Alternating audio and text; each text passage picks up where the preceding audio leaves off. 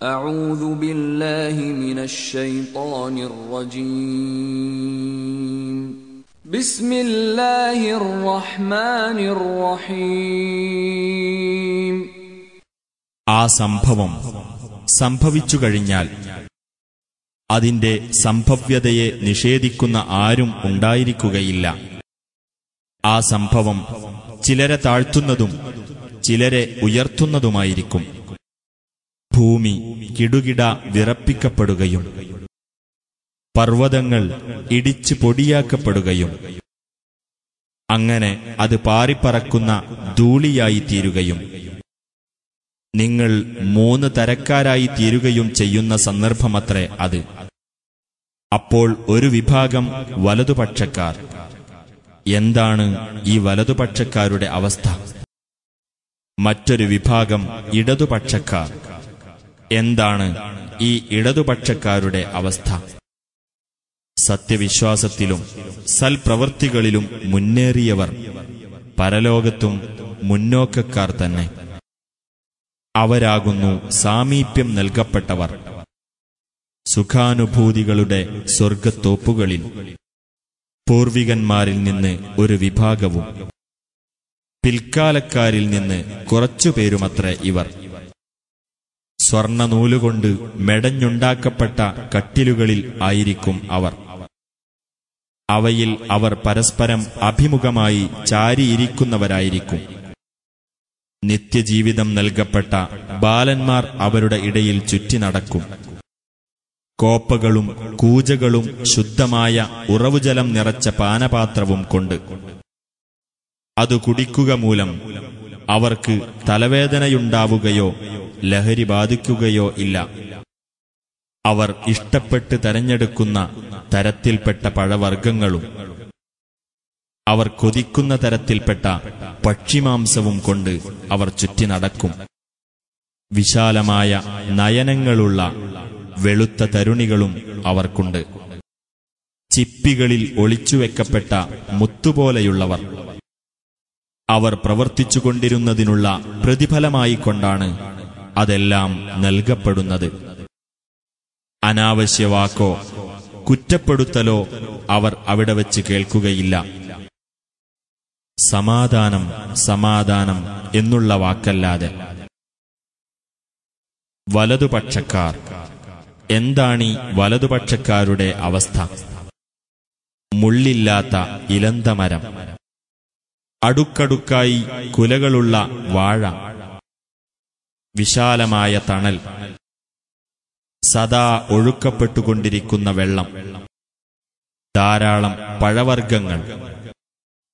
നിലച്ചു പോവാത്തതും തടസ്സപ്പെട്ടു പോവാത്തതുമായ ഉയർന്ന മെത്തകൾ എന്നീ സുഖാനുഭവങ്ങളിലായിരിക്കും അവർ.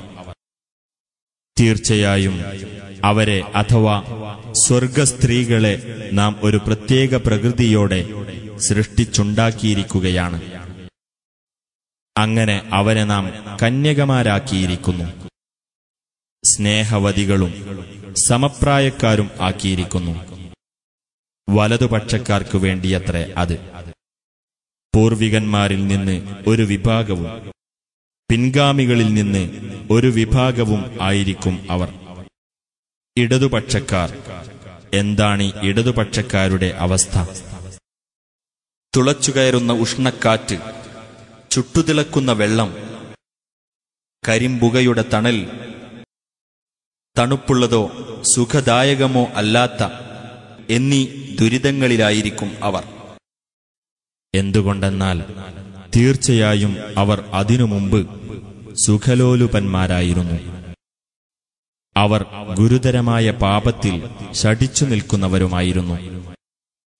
അവർ ഇപ്രകാരം പറയുകയും ചെയ്തിരുന്നു.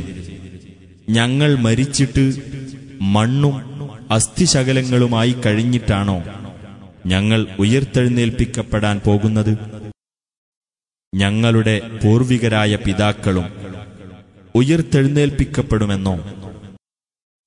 നീ പറയുക തീർച്ചയായും പൂർവികരും പിൽക്കാലക്കാരും എല്ലാം ഒരു നിശ്ചിത ദിവസത്തെ കൃത്യമായ ഒരു അവധിക്ക് ഒരുമിച്ചു കൂട്ടപ്പെടുന്നവർ തന്നെയാകുന്നു.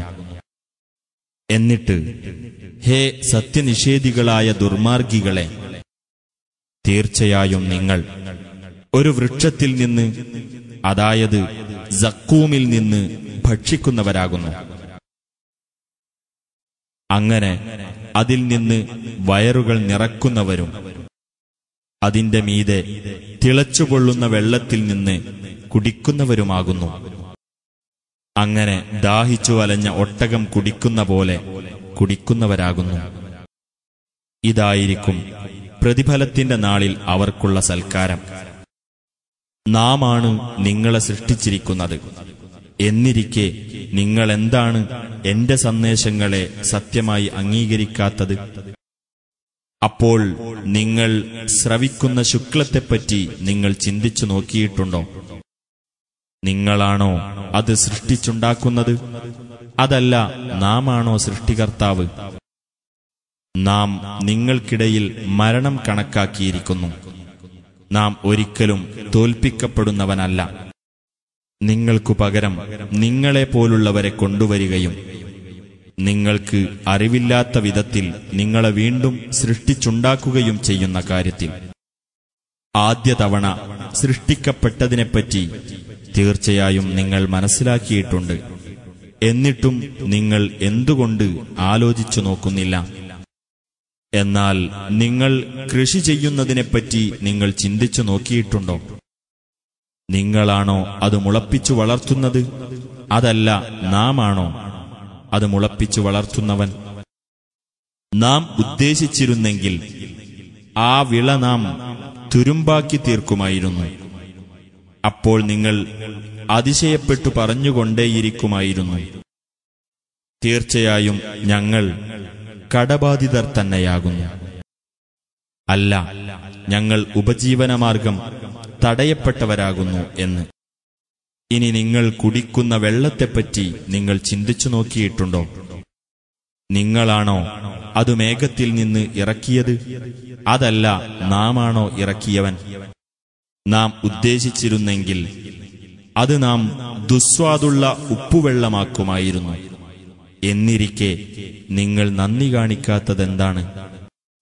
നിങ്ങൾ ഉരസി കത്തിക്കുന്നതായ തീയിനെപ്പറ്റി നിങ്ങൾ ചിന്തിച്ചു നോക്കിയിട്ടുണ്ടോ? നിങ്ങളാണോ അതിന്റെ മരം സൃഷ്ടിച്ചുണ്ടാക്കിയത്? അതല്ല നാമാണോ സൃഷ്ടിച്ചുണ്ടാക്കിയവൻ? നാം അതിനെ ഒരു ചിന്താവിഷയമാക്കിയിരിക്കുന്നു. ദരിദ്രരായ സഞ്ചാരികൾക്ക് ഒരു ജീവിത സൗകര്യവും. ആകയാൽ നിന്റെ മഹാനായ രക്ഷിതാവിന്റെ നാമത്തെ നീ പ്രകീർത്തിക്കുക. അല്ല നക്ഷത്രങ്ങളുടെ അസ്തമന സ്ഥാനങ്ങളെക്കൊണ്ട് ഞാൻ സത്യം ചെയ്തു പറയുന്നു.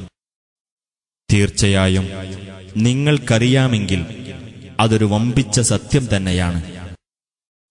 തീർച്ചയായും ഇത് ആദരണീയമായ ഒരു ഖുർആൻ തന്നെയാകുന്നു. ഭദ്രമായി സൂക്ഷിക്കപ്പെട്ട ഒരു രേഖയിലാകുന്നു അത്. പരിശുദ്ധി നൽകപ്പെട്ടവരല്ലാതെ അത് സ്പർശിക്കുകയില്ല. ലോകരക്ഷിതാവിങ്കൽ നിന്ന് അവതരിപ്പിക്കപ്പെട്ടതത്രേ അത്. അപ്പോൾ ഈ വർത്തമാനത്തിന്റെ കാര്യത്തിലാണോ നിങ്ങൾ പുറംപൂച്ചു കാണിക്കുന്നത്? സത്യത്തെ നിഷേധിക്കുക എന്നത് നിങ്ങൾ നിങ്ങളുടെ വിഹിതമാക്കുകയാണോ? എന്നാൽ ജീവൻ തൊണ്ടക്കുഴിയിൽ എത്തുമ്പോൾ എന്തുകൊണ്ടാണ് നിങ്ങൾക്കത് പിടിച്ചു നിർത്താനാകാത്തത്? നിങ്ങൾ അന്നേരത്ത് നോക്കിക്കൊണ്ടിരിക്കുമല്ലോ. നാമാണ് ആ വ്യക്തിയെ സംബന്ധിച്ചിടത്തോളം നിങ്ങളെക്കാളും അടുത്തവൻ. പക്ഷേ നിങ്ങൾ കണ്ടറിയുന്നില്ല. അപ്പോൾ നിങ്ങൾ ദൈവിക നിയമത്തിന് വിധേയരല്ലാത്തവരാണെങ്കിൽ നിങ്ങൾക്കെന്തുകൊണ്ട് ജീവൻ മടക്കിയെടുക്കാനാവുന്നില്ല? നിങ്ങൾ സത്യവാദികളാണെങ്കിൽ. അപ്പോൾ മരിച്ചവൻ സാമീപ്യം സിദ്ധിച്ചവരിൽപ്പെട്ടവനാണെങ്കിൽ. അവന് ആശ്വാസവും വിശിഷ്ടമായ ഉപജീവനവും സുഖാനുഭൂതിയുടെ സ്വർഗത്തോപ്പും ഉണ്ടായിരിക്കും. എന്നാൽ അവൻ വലതുപക്ഷക്കാരിൽപ്പെട്ടവനാണെങ്കിലോ? വലതുപക്ഷക്കാരിൽപ്പെട്ട നിനക്ക് സമാധാനം എന്നായിരിക്കും അവനു ലഭിക്കുന്ന അഭിവാദ്യം. ഇനി അവൻ ദുർമാർഗികളായ സത്യനിഷേധികളിൽപ്പെട്ടവനാണെങ്കിലോ? ചുട്ടുതിളക്കുന്ന വെള്ളം കൊണ്ടുള്ള സൽക്കാരവും നരകത്തിൽ വെച്ചുള്ള ചുട്ടരിക്കലുമാണ് അവനുള്ളത്. തീർച്ചയായും ഇതുതന്നെയാണ് ഉറപ്പുള്ള യാഥാർത്ഥ്യം. ആകയാൽ നീ നിന്റെ മഹാനായ രക്ഷിതാവിന്റെ നാമം പ്രകീർത്തിക്കുക.